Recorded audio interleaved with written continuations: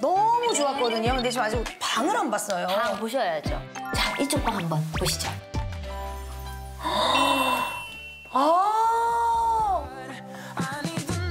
아, 진짜로. 침대 깔고 rug를 큰 걸 깔았는데도. 근데 이 컬러가요. 네. 베이지색에 green이 살짝 섞였어요. 그래서 좀 더 차분한데. 네. 저 beige green이 침실이 굉장히 잘 어울리는 색깔이죠. 어, 해봤어요 그런 색을? 그 이거 지금 다 두고 간다는 네. 거잖아요.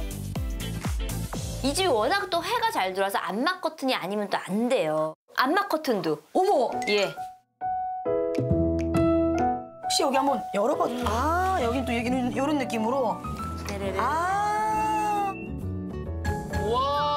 뭐야 여기 뭐야? 아까 그 공간이요. 아, 아 연결이야. 또 맞은편에 또 문이 하나 있네요. 또 들어가 보세요. 아, 예, 예. 아, 또 여기에도 또 뭔가를 좀 아, 옷장인데. 그냥 옷장이 아니었네. 네. 드레스 룸이 예, 있었네. 드레스룸. 야 옷장에도 다 비닐로. 아, 요거는 화장실이겠죠? 화장실, 화장실. 넓다. 넓어요. 진짜 넓어요. 아, 좋습니다. 아, 굉장히 마음에 드는데요? 네. 어머니 힐링 공간이 될 것 같아요. 엄마 방 최고입니다. 최고의 방이에요. 최고예요. 바로 맞은편에 있는 방이죠.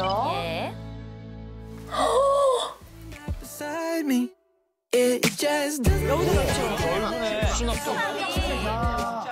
북박이장에 just now. 참 옷도 잘 숨겨 집이네. 너무 좋아. 아이고. 여기만 있는 게 아니다. 저기에도 또 숨겼어. 와. 왜 이렇게 숨겨놨어? 왜 이렇게 숨겨놨어요?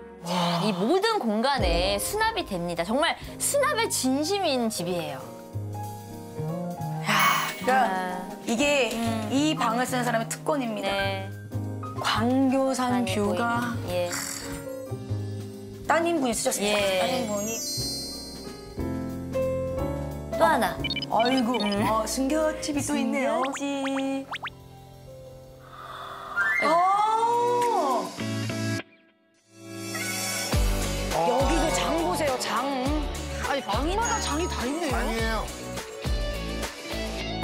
또 독립적인 생활을 오래 하셨기 때문에 또 엄마 바로 옆에 또 있는 것도 좀 어떨 때는 불편하실 수도 있잖아요. 늦게 들어올 수도 예, 있는 예, 거고. 여기가 낫겠다. 그렇죠. 딱 좋다. 네, 화장실. 네. 너무 깔끔해요. 자, 욕조 품은 화장실.